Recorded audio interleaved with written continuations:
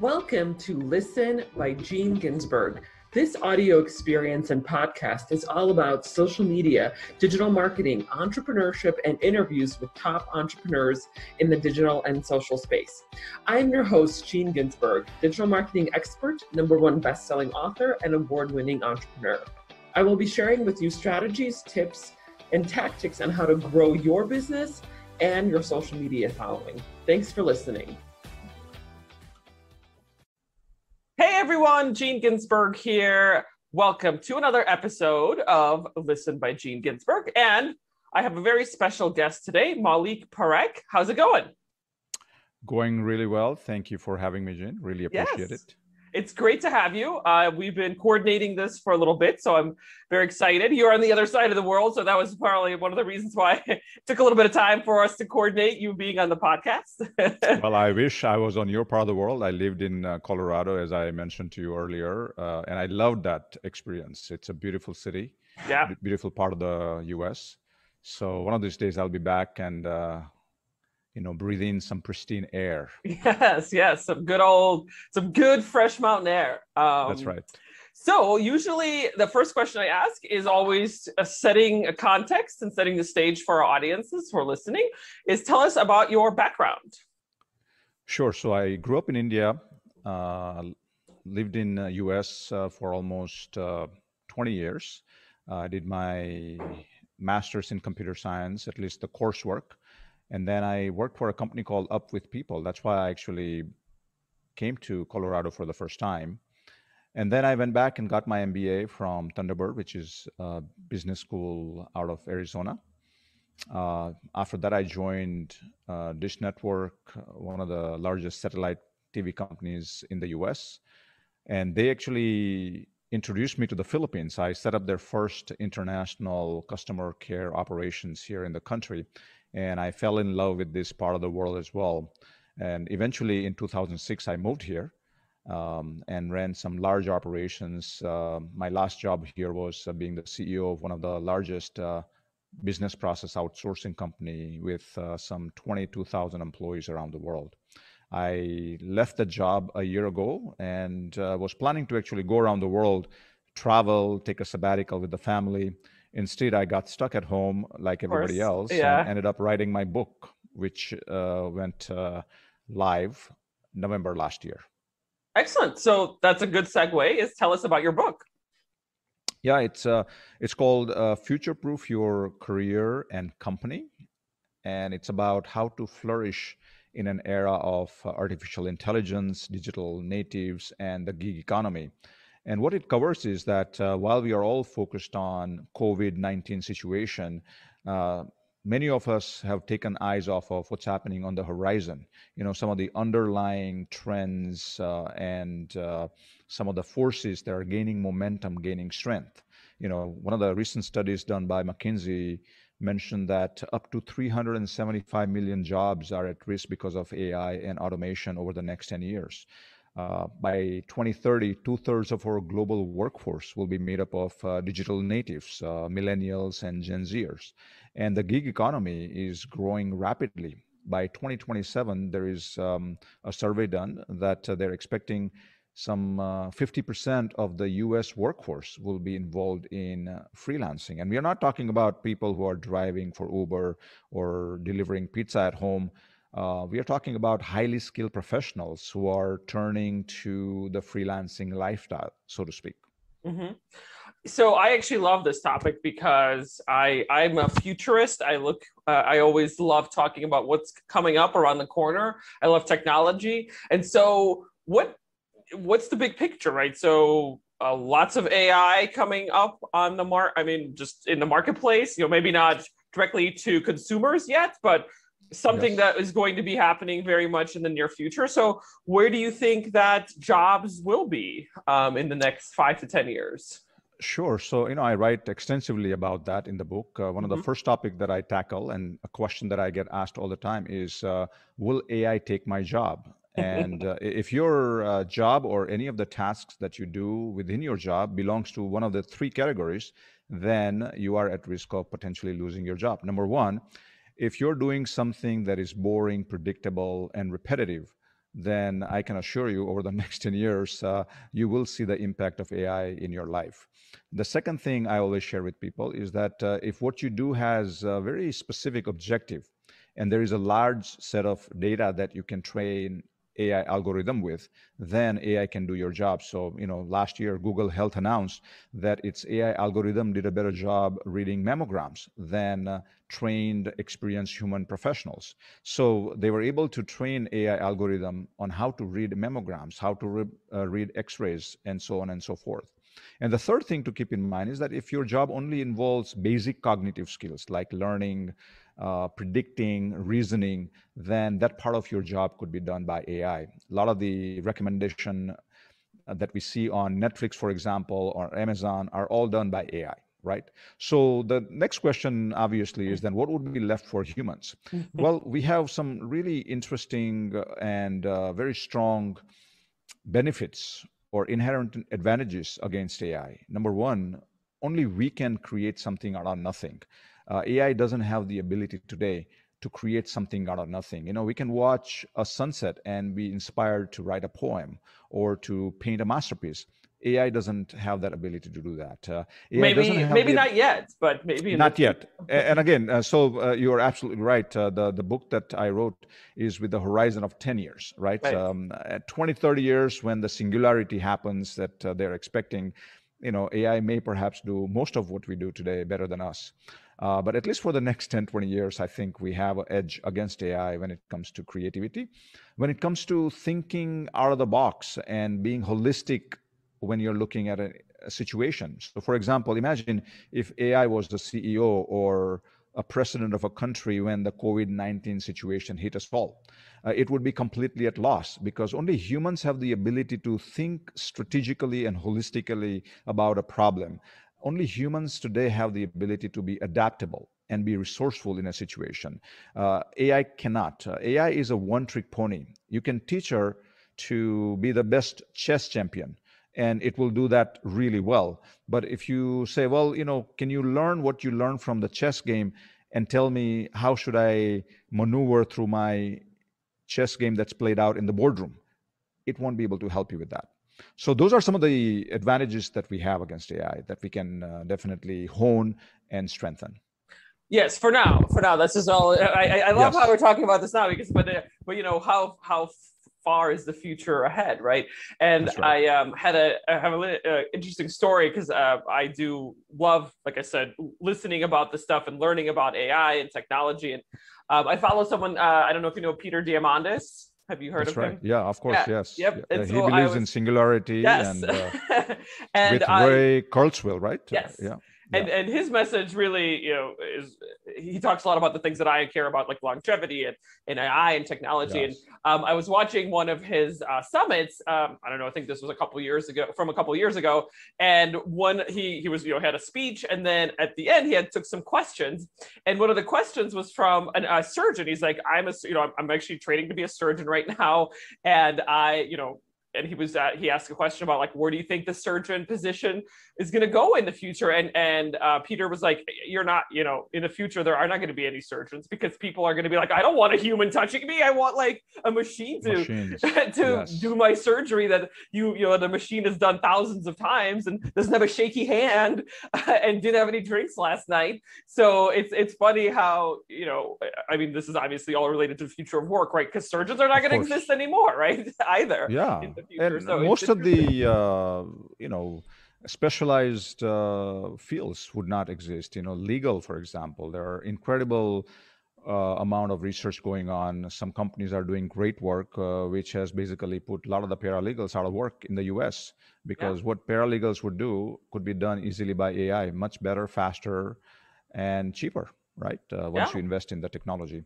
I think the key thing is, to your point, uh, keeping in mind the horizon. So Peter is absolutely right. Uh, you know, 30, 40, 50 years from now, who knows what will happen to us?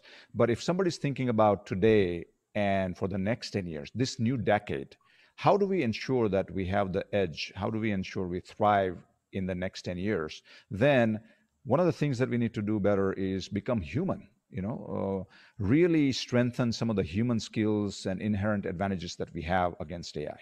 Right. And one of the things that Peter did mention in that speech he was talking about is that he believes that even AI is going to tell better jokes in the future than than we can.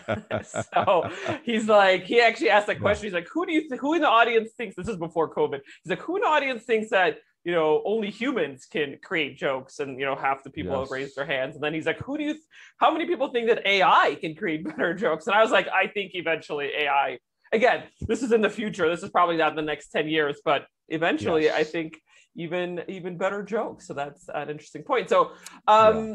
and the next question I have is um what are the traits of a successful company in the future? So now we're getting on the topic of, you know, of course, AI and and changing how work and the future of work is. This podcast is brought to you by the Digital Marketing Method monthly group coaching program your methodology for growing your business and your social media following. Join me and my group of supportive entrepreneurs and learn how you can grow your business and your social media following, where we cover topics such as Instagram, Facebook, YouTube, email marketing, and so much more. Go to dmgroup.online. dmgroup.online. Yes. Well, I mean, uh, one of the first things companies have to do to thrive over the next 10 years, at least, is to ensure they are digitally transforming themselves every single day. Uh, second thing they must have to do is to have a, a strong purpose that goes beyond the profit and loss um, because they need to, one way or the other, attract young generations. And today's young generations are some of the uh, most woke people that we have come across. Uh, they deeply care about what kind of world we live in, how we solve the problems of the world, leave uh, the environment better for the next generation than what we have inherited. So it's important that companies need to have a very strong purpose. The third thing companies need to do is to create a culture of innovation. Uh, and typically, you know, people mm. think that uh, creating a culture of innovation means, hey, let's just take our C-suite to the Silicon Valley, spend a week there, go to Napa Valley, drink some wine, and come back, and wow, you know, we are all very innovative. That's not how it works. So you have to really create a culture that permeates throughout the organization. It's a mindset. It's not a technology that you need to go out and buy. Yeah. Uh, the fourth thing you have to do is to ensure that you create a culture of lifelong learning. You know, days uh, those days are gone when uh, you know the last thing you look at the resume is okay where, where did your degree come from? And then we stop learning and uh, educating ourselves. Now we live in a world where all of us uh, starting with the ceos down to the janitors will all have to keep learning uh, how the world is changing because um, according to a recent survey um, the half life of a skill has now gone down to five years so within five years, uh, half of the skills that you know today would be irrelevant. So how do you ensure that you will be relevant in the next five years? And the, the fifth thing I write about in the book is that you have to create a culture of fun, adventure, and excitement for your employees because the life would be very tough life would be extremely stressful in the business for the next 10 years.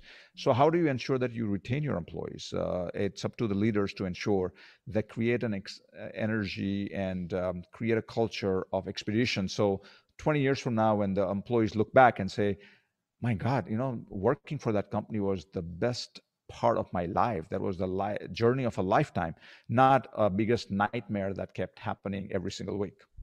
Right, right, absolutely. So I, I, I, I love to read your book. I have not read it yet, but I definitely am going to put it on the list because, um, of course, I love talking about this stuff. But um, earlier you mentioned, of course, you know, you took some time. You were going to take some time off and travel the world, but you got stuck at home like everyone else, um, right? And then you wrote a book. But during COVID, and then what do you, you know, what has been the change? Like if since COVID began. Of course, we had a certain plan a year ago or a little bit over yeah. a year ago, but then uh, in the industry, how has industry or future of work even maybe changed? I mean, I think it accelerated the future of work COVID did, but what are your thoughts yes. on that? No, absolutely. I think uh, companies came to terms with uh, the fact that digital transformation is not a nice to have, but it's a must have. You know, yeah. Domino's Pizza who have gone through digital transformation for the last 12 years. They didn't wait for COVID 19 to happen to resume that process. They have been doing that for the last 12 years, had their best year in 2020. Their revenue and margins increased by double digit compared to 2019, you know, despite the pandemic. Whereas Pizza Hut, mm-hmm. company in the same industry. Yeah. The parent company of Pizza Hut filed for bankruptcy. Why? Because one company had embraced digital transformation before they needed it, and Pizza Hut uh, had to eventually close the door or you know go through that bankruptcy uh, proceedings that they're going through right now. So one of the things that we all have learned is that digital transformation is a must. We all must have that uh, as part of our uh, repertoire. I think the second thing people have realized that um, you know it's uh, overestimated the need for us to all to be together. Uh, companies can survive uh, when a lot of us can work from home. And yes, it's important to have people once in a while come together and have face-to-face meeting. But we live in a day and an age where um, companies actually don't need to have massive investments in physical spaces. Uh, they can create an environment where their employees can have their cake and eat it too. Because at the end of the day, if they don't do it, then your employees have a potential and have a chance to become a freelancer. Mm-hmm. And what does freelancer do? You know, they can work from anywhere. Uh, they can decide to do anything they want. Uh, they, they can decide to wear anything they want to wear while they're working. And that, that's a competition that um, companies have to keep in mind. Of course, yeah. So you mentioned, of course, digital transformation as part of what's been going on in the last year. I mean, it's been going on for a while, but it's definitely accelerated in the last year. But why do you think that most companies fail at digital transformation, and how do you avoid that? Well, um, you know, there was a study done that uh, 84% of the companies who took on digital transformation over the last 20 years uh, failed to achieve the sustainable results. And the number one reason um, the companies fail is because they equate buying technology to transforming themselves. Uh, that's not the case. Uh, digital transformation is actually not going out and buying the latest and the greatest technology everybody's talking about at a convention that you attended. It's about uh, deciding what your ultimate goal is. And there are three key goals for any digital transformation. It all starts with begin with, you know, end in mind. What's the end here? Number one, how do you improve and enhance customer experience. So your digital transformation has to be about enhancing your customer experience. The second thing your digital transformation has to do is about uh, enhancing your employee experience. And the third thing the digital transformation has to do is to answer this question Do we need to revamp our business model or not, given everything that's happening around us? So, if you start with this end in mind, you will have the right strategy in place. And then uh, the four things that you need to do to ensure the digital transformation is done right is uh, ensure that ceo is the one driving it. It's not cio's job to drive digital transformation because it's about strategy. It's not about technology so that's number one. Second thing, uh, people need to know why you are doing it. Uh, if your employees don't know why you're going through this massive transformation, they would never get on the bandwagon. They would never drink the same Kool-Aid uh, that uh, you're drinking. The third thing you have to do is to coordinate. You need to make sure that at the C level, everybody is coordinated on what needs to happen for this digital transformation. And at the rank and file level, you need to have a project team that's driving this one step at a time. It's just uh, it's like the M- MPV model that uh, startup uh, follow, right? Uh, the minimum viable product. Mm-hmm. How do you ensure that you are taking one bite at a time instead of chewing more than uh, you know or taking on more than you can chew? right so those are some of the things that you have to keep in mind to ensure that you succeed you succeed in digital transformation. Absolutely. Yes uh, it's so true and it's the ones that don't do it are going to be left behind right? And that's how businesses fail and go bankrupt is because they just aren't there with the times right? I mean we've seen this so much happening in the last you know 10 20 i mean it happens for all the time but even more so i think it's been accelerating in the last 10 or 20 years because uh, technology has been accelerating itself so so quickly so, yeah. Um, and then the last question before we wrap up is I love asking this question because it is a, it's a very open-ended question is what is your prediction for the future? And of course, we talked about future of work, but it can also be terraforming Mars or self-driving cars, or you know, maybe you can talk more about the future of work. So it's totally, totally open-ended. well, you know, my, my take is more personal actually, and it's uh, something that is close to everyone's heart. Uh, I think we live in the golden age of work. Um, we live in a world today that if you have a song in you, you it doesn't need to die in the nine to five rat race that we had no choice but to do in the past. Uh, there are so many opportunities to make a living now and follow your dreams, follow your passion, and uh, make a living. Um, I think the biggest change that will happen and it's going to transform the way the world works is how freelancing will allow people to reclaim their freedom even during Monday to Friday. Think about it. Why do we say TGIF and not TGIM? Why do we say thank God it's Friday? Nobody says, "Oh my God, thank God it's Monday." I'm I can't wait to get to work. I, I do. I sometimes say okay. that. yeah, well, I mean, you are an exception, not the you know rule. So yes, it's because we lose some of that freedom we have during Monday to Friday, but freelancing offers that now, and uh, in order for companies to compete against that, they would need to create that environment at the workplace that promotes entrepreneurship, that promotes freedom, uh, that promotes uh, opportunities for people to follow their dreams and for create their own customized career paths. Yes, that's so true. It's that's the future is not just not just a nine to five, but actually finding something that that is purposeful, right? That actually means something to you personally, um, and creating a job or a freelance um, gig out of it. So I um, I love what I love that, and I love what you're saying. So um, great. So last question, of course, always is how can our audiences get in touch with you or find your book? Well, um, the book is available on Amazon, um, so you can obviously buy it. Um, I just completed my audiobook. It should be going uh, on sale in the next couple of weeks. So if people want to you know fall asleep listening to an Indian accent, uh, then I have an, a solu- I have a solution for you. Um, but you can also uh, check out my website, uh, maulikparekh.com, and uh, you will see all my social media handles there. And uh, it'll be great to have you tag along as I continue this journey.